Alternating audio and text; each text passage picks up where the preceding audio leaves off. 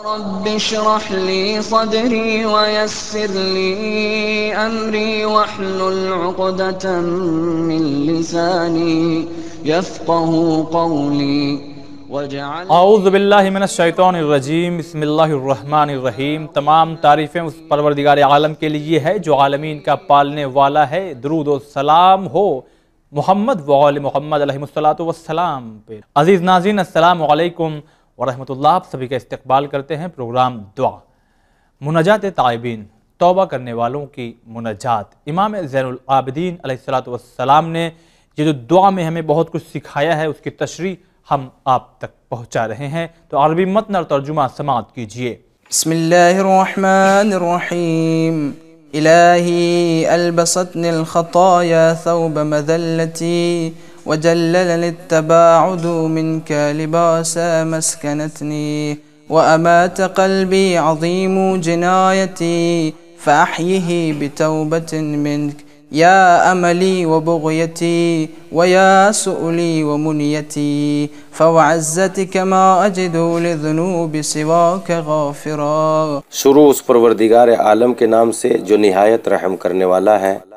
परवरदिगारा, मुझे ख़ताओं ने ज़िल्लत का लिबास पहना दिया है। तुझसे दूरी ने मुझे आजजी और बेवफाई का जामा पहना दिया। और मेरे अजीम जराइम ने मेरे दिल को मुर्दा बना दिया है। लिहाजा तू उसे मेरी तोबा के ज़रिए ज़िंदा बना दे। ए मेरी उम्मीद ए मेरी आरज़ू ए मेरे परवरदिगार, जिससे मेरा हर सवाल है और मेरी हर आरज़ू वाबस्ता है। तेरी इज़्ज़त की कसम के अपने गुनाहों के लिए, तेरे अलावा कोई बख्शने वाला, अपनी शकस्तगी के लिए कोई जोड़ने वाला नहीं पाता हूँ।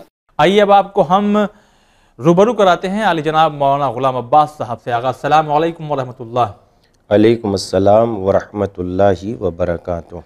इमाम की इस दुआ का ये जो कलमा है कि इमाम सज्जाद सलाम ने फरमाया मेरे मालिक तेरी इज़्ज़त की कसम तेरे अलावा मेरे गुनाहों को कोई बख्श नहीं सकता। अगर इस कलमे में गौर किया जाए तो नाजरीन देखिए कसम है इज़्ज़त की है, जबकि तेरी जलाल की, तेरी कुदरत, बहुत से और भी अल्लाह के जो इसम हैं, उस नाम से कसम दी जा सकती थी। तो अगर सवाल यही है कि इज़्ज़त की कसम क्यों दी गई? आऊदबिल्लिमिनशैतानरजीम बिस्मिल्लाहिर्रहमानिर्रहीम। अलहम्दु अला अहलिही वस्सलातु अला ये मुनाजात, जिसमें इमाम सज्जाद ने खुदावंद आलम की बारगाह में गुनाहों के असरात पर गुफ्तु करते हुए बहुत अजीम गुफ्तु फरमाई है जिसमें हमने गुनाहों के असरात दिल के मुर्दा होने और फिर तोबा की अज़मत के सिलसिले में बात करते हुए यहाँ पे आप देखिए बिसमीम जो इमाम सज्जाद अलैहिस्सलाम ने ये मुनाजात फरमाई है इलाही अलबसतनिल ख़ताया सौबा मजल्लती वजल्लनियल तुबा उदो मिन का लिबास मस्कनती व अमा तकलबी अदीम जनायती। फ़ाही है बेतौबती मिन का या अमली व बोगयती व यासूली व मुनियती। फ़ा व इज़्ज़त का मा अजदो लदनूबी सिवा का गाफिरा। परवरदिगारा ख़ताओं ने मुझे ज़िल्लत का लिबास पहना दिया है। तुझसे दूरी ने मुझे आजजी और बेवफाई का जामा पहना दिया है। मेरे अजीम गुनाहों ने जराइम ने मेरे दिल को मुर्दा कर दिया है। बस मेरी तोबा के ज़रिए से तू मेरे दिल को ज़िंदा कर दे। ए मेरी उम्मीद ए मेरे सवाल जिससे मेरा हर सवाल वाबस्ता है। तेरी इज़्ज़त की कसम खा कर कहता हूँ माँ अज दो ले जुनूबी सिवा का गाफिरा। तेरे अलावा कोई नहीं है। जो मेरे गुनाहों को बख्श दे। जी। इस मफहम को पेश करने से पहले हम आपकी खिदमत में इज़्ज़त के मानी बयान कर देते हैं ताकि आपको अंदाज़ा हो जाए कि यहाँ गुनाहों के साथ इज़्ज़त की कसम क्यों खाई गई है। अच्छा। इसलिए कि जब हम देखते हैं और रागिब ने भी अपने मुफरदात में इज़्ज़त का जो लफ्ज़ इस्तेमाल किया है और उसके जो मानी बयान किए हैं इज़्ज़त उस चीज़ को कहते हैं जो ऐसी हालत और ऐसी महकम व मज़बूत हो जो किसी भी के सामने शकिस्त और हार को कबूल न करती हो। यानी इज़्ज़त उस मानी में है जो ऐसी मज़बूत और मुस्तहकम हालत को कहते हैं जो किसी से भी शिकस्त और हार को कबूल ना करती हो। यानी इज़्ज़त उस कुदरत के मानी में है जो किसी के सामने सर नगू ना हो सके ना वो उससे उस ना वो किसी के ज़रिए रुतबे हासिल कर सके और ना ही वो किसी का मोहताज हो। इस हम्म। एतबार से इज़्ज़त के मानी ये समझ में आते हैं कि जो किसी से किसी भी लिहाज से कोई रुतबे और दर्जों में इजाफा ना होता हो उसको कहते हैं इज़्ज़त लिहाजा यहाँ पर परवरदिगार आलम की इज़्ज़त का हवाला इसलिए दिया गया है कि हम दुनिया में जब देखते हैं तो हम किन्हीं कारनामों से इज़्ज़तों को हासिल करते हैं मसलन एक आप अपने हिंदुस्तान की हुकूमत के एक आला अफसर का तस्वुर कीजिए हम्म। उसकी वर्दी को देखिए और उसके सीने पर लगे हुए तमगों को देखिए। उन तमगों को देखने के बाद आप अंदाज़ा करेंगे कि उसकी इज़्ज़त में इसलिए इजाफ़ा हो रहा है और लोग उसको इसलिए सैल्यूट या सलाम कर रहे हैं कि उसने बड़े बड़े मुजरिमों को गिरफ़्तार करके उनको कैफर किरदार तक पहुँचा पहुँचा दिया पहुँचा दिया है इसलिए उसको इज़्ज़त मिल रही है। अगर ये इंसान यही आला अफसर अगर इन मुजरिमों को गिरफ़्तार ना करता और इनके गुनाहों की इनको सज़ा ना देता तो ये तमगे ये इज़्ज़त ये सलूट इसको हासिल हो सकते थे? नहीं हासिल नहीं हो सकते थे। हम्म। यानी इसका मतलब ये है कि हम दुनिया में इज़्ज़त पाने के बावजूद भी जब इज़्ज़त पाते हैं जब मुजरिमों को गुनाह गारों को हम सज़ा दे देते हैं हम्म। इमाम सज्जाद अलैहिस्सलाम यहाँ इसी बात की तरफ़ इशारा कर रहे हैं परवरदिगार तेरी ऐसी इज़्ज़त नहीं है कि अगर मुजरिमों को तू सज़ा देगा तो तेरे रुतबों में इजाफा हो जाएगा और अगर तू उनको माफ़ कर देगा तो तेरे रुतबों में कमी आ जाएगी मालिक अगर तू मुजरिमों को सज़ा देगा तो भी तेरे रुतबों में इजाफा होने वाला नहीं है और अगर तू मुजरिमों को माफ़ कर देगा तो तो भी तेरे रुतबों में कमी होने वाली नहीं है, नहीं है। ये तो दुनिया के अफसर या अहदेदार होते हैं जो मुजरिमों को गिरफ़्तार करके उनको सज़ाएँ देने के बाद इज़्ज़तें पाते हैं मगर तेरी तो ऐसी इज़्ज़त है कि ना तू सज़ा देने के बाद इज़्ज़त पाता है ना तू माफ़ करने के बाद तेरे रुतबों में कमी आती है इसलिए कि मैं जो भी गुनाह करूँ तो इस दुनिया में कौन है जो मेरे गुनाहों को माफ़ कर सकता है? बस फ़कत तेरी ही ऐसी ज़ात है कि ना तो तू मुझे इसलिए सज़ा देगा कि तेरे रुतबों में इजाफा हो जाए ना तुझे हम्म। मुझे ना तू मुझे इसलिए माफ़ करेगा कि तेरे रुतबों में कमी आ जाए। परवरदिगारा तू तो ऐसी इज़्ज़त का मालिक है कि जो किसी के सामने हार और शिकस्त को कबूल नहीं कर सकती। पहले गुनाहों का हवाला दिया और उसके बाद फिर परवरदिगार आलम की इज़्ज़त का हवाला दिया ताकि इंसान को अंदाज़ा हो जाए हम्म। कि परवरदिगार आलम जैसा कि ख़ुद कुरान मजीद ने कहा है अल्लाह के लिए तमाम इज़्ज़त है।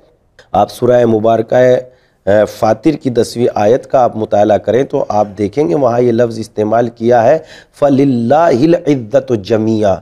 तमाम की तमाम इज़्ज़त बस परवरदिगार आलम के लिए है। इज़्ज़त में कोई शरीक नहीं है। हम जितने भी हैं उसकी ज़ात के फ़कीर और मोहताज महज हैं यानी हम उसके जलील बंदे हैं। फ़कत परवरदिगार आलम के लिए इज़्ज़त है इसलिए कि ना वो किसी का मोहताज है और ना उसको कोई चीज़ फ़ायदा पहुँचा सकती है।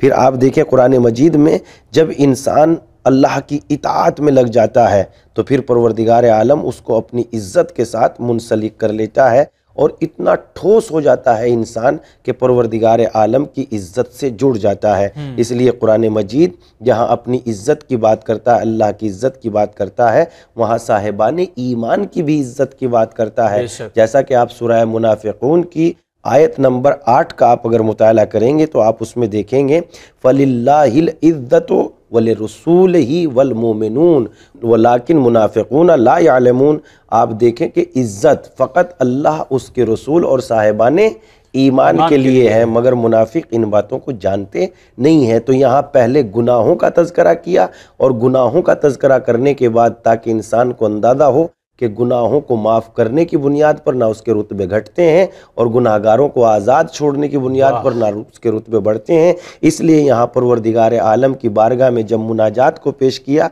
तो पहले कहते हैं मैं गुनाहगार हूँ मुझे गुनाहों ने ज़िल्लत का लिबास पहना दिया है। हम्म। तुझसे दूरी ने मुझे जामा पहना दिया है कि मैं आजिज़ और बेवफाई का जामा पहन चुका हूँ।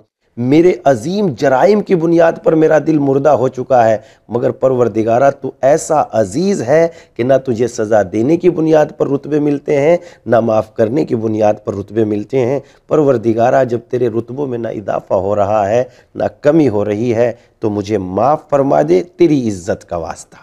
सुबहान अल्लाह बहुत ही बेहतर गुफ्तु नाजरीन आप तक पहुँचे कि क्यों इज़्ज़त की कसम दी जा रही है। अगर इंसान भी हकीकी इज़्ज़त हासिल करना चाहे तो उसको क्या करना होगा? चश्म अगर इंसान भी ये चाहता है कि उसको हकीकी इज़्ज़त हासिल हो जाए तो इस सूरत में हमें बहुत ज़्यादा अहदीस का मुताला करना पड़ेगा कि हम ये देखें कि इज़्ज़त को खुदा वंद आलम ने किन चीज़ों में रखा है। ठीक। और ये बात तो हम जानते हैं कि जब कोई इंसान बर्तनों से पानी को हासिल करता है तो गदला और गर्द आलूद पानी उसको हासिल होता है। जी। लेकिन जब इंसान किसी साफ़ और शफाफ चश्मे से यानी जहाँ से पानी फूट रहा हो निकल रहा बिल्कुल हो साफ़ बिल्कुल साफ़ और शफाफ पानी उसको हासिल हो जाता है। जी। तो हम इस कायनात में देखते हैं कि जिनके पास भी थोड़ी बहुत इज़्ज़त है वो उन बर्तनों की मानिंद है जिनमें थोड़ा बहुत पानी होता है उस चश्मे की मानिंद नहीं है जिसके अंदर से पानी फूट के निकल रहा हो। तो हम अगर लोगों से इज़्ज़त को तलब करेंगे तो यकीनन इज़्ज़त हासिल नहीं होगी चूँकि उनके खुद ही पास मुख्तसर और गर्द आलूद इज़्ज़त है। गर्द आलूद इज़्ज़त का लफ्ज़ मैं इसलिए इस्तेमाल कर रहा हूँ कि हो सकता है हम बाहर का लिबास तो बहुत संवार के पहन लें लेकिन वो लिबास ही गस भी हो सकता है जिसकी वजह से हमने इज़्ज़त हासिल करना चाहिए। हाँ, वो जूता जिसको हमने कीमती पहना है है। सकता है हमने गरीब के हुकूक अदा ना किए हों और जूता हमारे पैर में बहुत बड़ा कीमती हो। लिहाजा वो इज़्ज़त जो हम ज़ाहिर कर रहे हैं हो सकता है वो इज़्ज़त हज़ारों एतबार से गर्द आलूद हो। लेकिन अब हम जो लोगों के दरमियान से अगर इज़्ज़त हासिल करेंगे तो हमें गर्द आलूद इज़्ज़त मिलेगी। लेकिन अगर हम चाहते हैं कि हकीकी इज़्ज़त हासिल हो जाए तो इज़्ज़त के मरकज़, यानी परवरदिगार आलम की ज़ात से हमें हकीकी इज़्ज़त को हासिल करना चाहिए। ये होगी कैसे हासिल? इसके लिए पैगंबर इस्लाम अलैहि वसल्लम तफसीर नमूना जिल्द दस और पेज नंबर एक सौ चौरानवे पर एक हदीस तहरीर फरमाई गई है। उस उस हदीस का मफहम यह है कि अगर इंसान ये चाहता है कि उसको हकीकी इज़्ज़त हो जाए तो परवरदिगार आलम हर रोज़ आवाज़ देता है कि क्या मैं अज़ीज़ नहीं हूँ यानी मैं इज़्ज़तदार नहीं हूँ तो अगर कोई बंदा ये चाहता है कि वो भी मेरी तरह इज़्ज़तदार इज़्ज़त हासिल कर ले अच्छा। तो उसको चाहिए कि फ़कत मेरी इतात करे और इज़्ज़त मेरी इतात ही के ज़रिए से हासिल हो हो, सकती सकती है है। बिल्कुल इज़्ज़त इंसान अल्लाह की इतात की वजह से ही इंसान को इज़्ज़त हासिल हो सकती है जैसा कि आपने बार बार इस बात को सुना भी होगा पढ़ा भी होगा जनाब ज़ुलेखा ने जनाब यूसुफ़ अलैहिस्सलाम के सामने इस बात का इकरार किया था ए यूसुफ़ कितना मुनज़ा है तुम्हारा परवरदिगार तुमने उसकी इतात की तो उसने तुम्हें इज़्ज़त अता कर दी और हमने उसकी मासीत की तो उसने हमें ज़िल्लत अता कर दी। यानी इंसान की इज़्ज़त परवरदिगार आलम की इतात में है। इसी तरीके से इमाम हुसैन अलैहिस्सलाम के एक सहाबी जुनादा इबन अबी सुफियान ने इमाम हुसैन अलैहिस्सलाम से वाजो नसीहत चाही। और ये बात भी तफसीर नमूना की दसवीं जिल्द पर पेज नंबर एक सौ तिरानवे एक सौ चौरानवे पर दर्ज है तो इमाम अलैहिस्सलाम ने उसको बहुत सी कीमती वाजो नसीहतें फरमाई मगर उनमें से एक नसीहत ये भी थी कि अगर तुम ये चाहते हो कि बग़ैर अशीरे और बग़ैर कबीले यानी बग़ैर अशीर बग़ैर कबीले के अगर तुम ये चाहते हो कि अज़ीज़ रहो इज़्ज़तदार रहो और बग़ैर सल्तनत के अगर ये चाहते हो कि तुम्हारी हैबत रहे तो फिर उस परवरदिगार आलम की मासीत की ज़िल्लत से निकल कर उसकी इतात की इज़्ज़त में कदम रख दो तो तुम बग़ैर सल्तनत के तुम्हारी हैबत रहेगी और बग़ैर कबीले के तुम अज़ीज़ बन जाओगे। यानी इतात पे परवरदिगार आलम में ही इंसान की इज़्ज़त है। इसी तरीके से इमाम जवाद अलैहिस्सलाम ने भी एक हदीस नकल फरमाई है और इमाम फरमाते हैं कितने ही लोग ऐसे हैं जो अज़ीज़ थे इज़्ज़तदार थे लेकिन उन्होंने खुदावंद आलम की मासीत की तो जलील हो गए हो गए। और कितने ही लोग ऐसे हैं जो जलील थे